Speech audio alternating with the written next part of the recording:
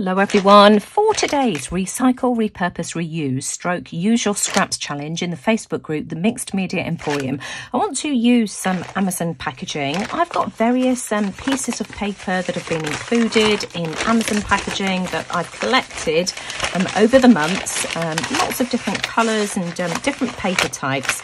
Um, but I save these because I just think they're too precious to throw away. What I'm going to do to start off with is take these away and cut them down into more manageable um, pieces. And um, this one here is ideal.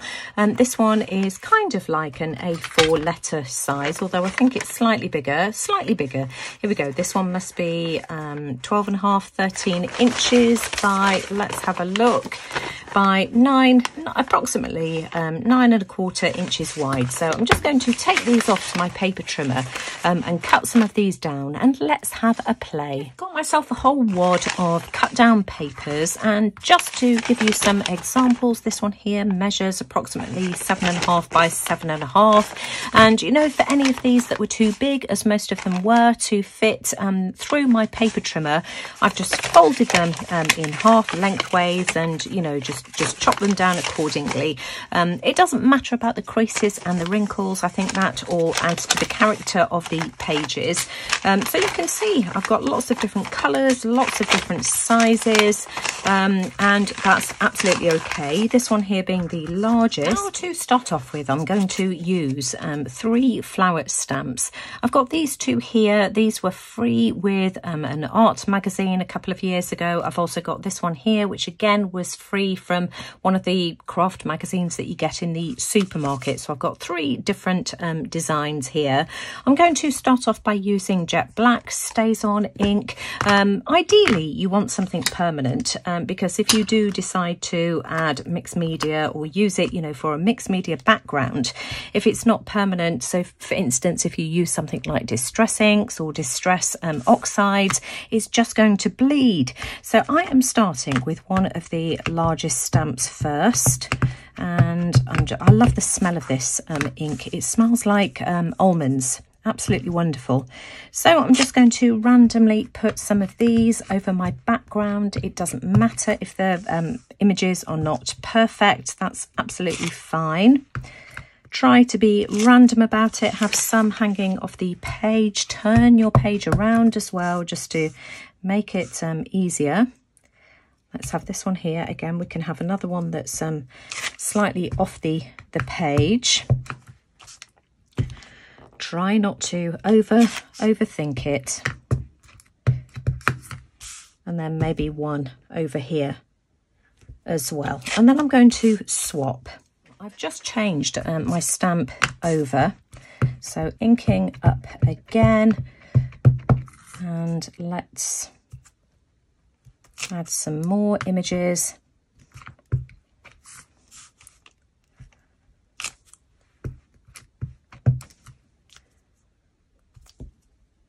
Try not to overthink it again as to where these, these are going.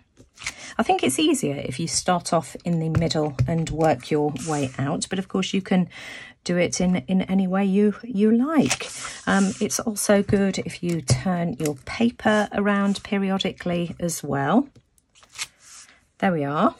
And then I'm just going to change the um, stamp over again. In fact, actually we can use um, a slightly smaller stamp pad and let's try and fill in um, some of the, the gaps.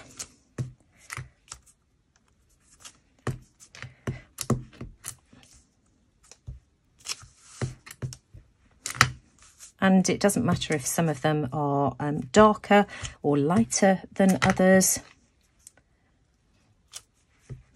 I might go and try and find um, a couple more um, stamped images as well of, um, of flowers just to add a bit more variety. In fact, I found one of my stamps from an old Dylusions set, um, this stamp set here, and I thought this particular small um, stamp would work really well. So this is How Does Your Garden Grow? So just, you know, mix and match, dig out your old stamp sets.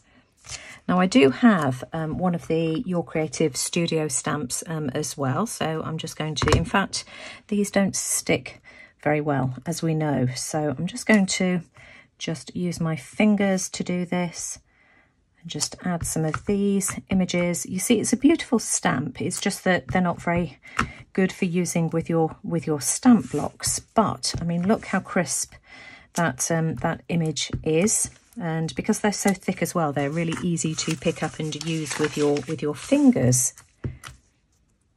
I've also found a leaf that was again in the Dylusions set, How Does Your Garden Grow? Um, again, it's got um, text and numerics and that kind of thing on it. So it goes with the, with the theme. So let's try and fill in some more of the gaps.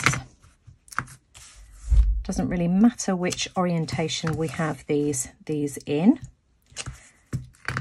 Trying to fill in some of the the gaps and make it look more interesting.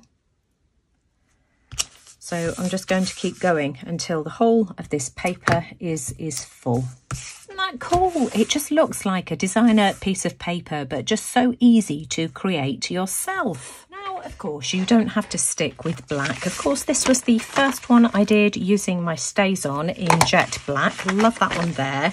Um, next up, I tried this one here and I used Memento Ink and Espresso Truffle. Um, love that one there.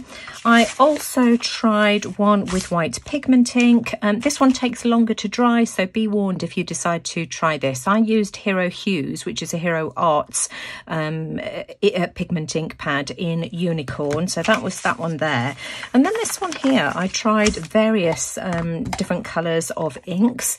Um, mainly On. StazOn in olive green for the leaves, um, On mustard, fuchsia pink, and a brilliance in rocket red. Um, my is running out of um, ink, so I don't know whether you can see. I've double um, stamped here um, after spraying it with um, with just um, an ink refresher just to try and get some more pigment into my ink pads. I think I'm going to have to order a new re-inker for that one there. But isn't that pretty? Let's do one with a stencil. I've pulled out um, four of my favourite colours here. I've got um, Persian Rose, Payne's Grey, um, Sky Blue Light and White. So I'm just going to use, use these colours here. I am going to start off with my favourite colour, which is Sky Blue Light. So I'm just going to put some of this out onto a palette. I'll use my stamp block here. This will be fine. And of course it's here in front of me anyway. So just a little bit of this. I've also got one of these um, little makeup sponges which I'm going to use. What I'm going to do is just stamp some of the paint on randomly all over my background. This is such a cool effect and I don't know whether any of you can remember me doing something similar with one of my masterboards using this um, same stencil um, and these same colours. Of course, it was much busier because um, I'd got a heavily um, patterned background, but you know, let's try it on, on craft paper and see, see how it looks. So randomly stamping, and of course, you know, I've got some um, over stamping and that's okay.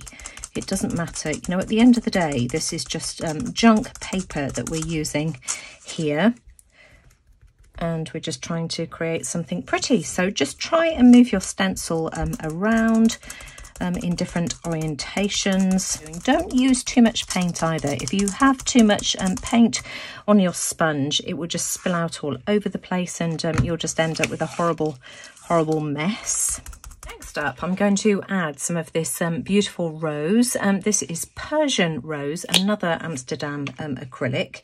Um, these are my favourite um, acrylic paints. And let's add another layer. Let's start off with this one here. Um, all of these leaves are exactly the same, so it really, really doesn't matter which one you decide to use.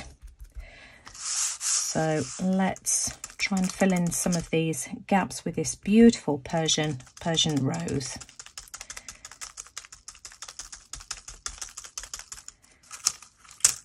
Isn't that pretty? And, you know, again, if we get some um, over um, stamping, that's fine. It doesn't matter. But I'm just going to keep turning this in different orientations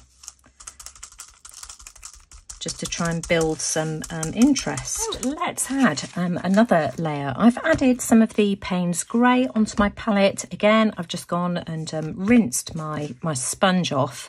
Let's start with this one here. And again, you just need a really small amount of, um, of paint. If you add too much paint, it just bleeds um, underneath your stencil. I'm using a different part of the stencil this time, although the shape is the same just because this one has started to um, lift a little bit that's fine.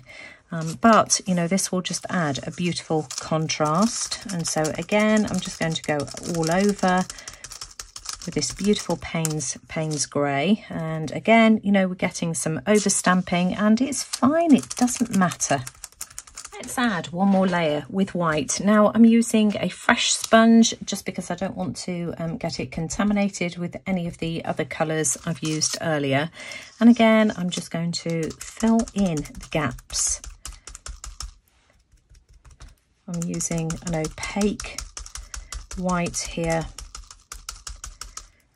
And yeah, you see that's just going to brighten um, everything up. So this is the white I'm using, um, which is a Daler-Rowney um, Graduate Acrylic. I've done a couple of different um, colourways of these. Again, um, this one here using a magenta without the Payne's Grey, um, just for a slightly different effect. but, you know, these are just lovely. They feel so lovely. Just hear that crinkle, just such a nice sound. So let me just try and squeeze all of these scrumptious papers onto the screen. But isn't this a wonderful way to use up your Amazon packaging? I think these are absolutely delightful and I will be back soon to share some ideas as to how we can use these for backgrounds and in projects, etc, etc.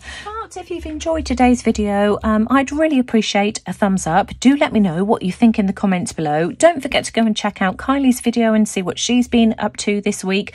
But most importantly, thanks for watching. Take care, everyone, and I'll see you all again soon. Bye for now.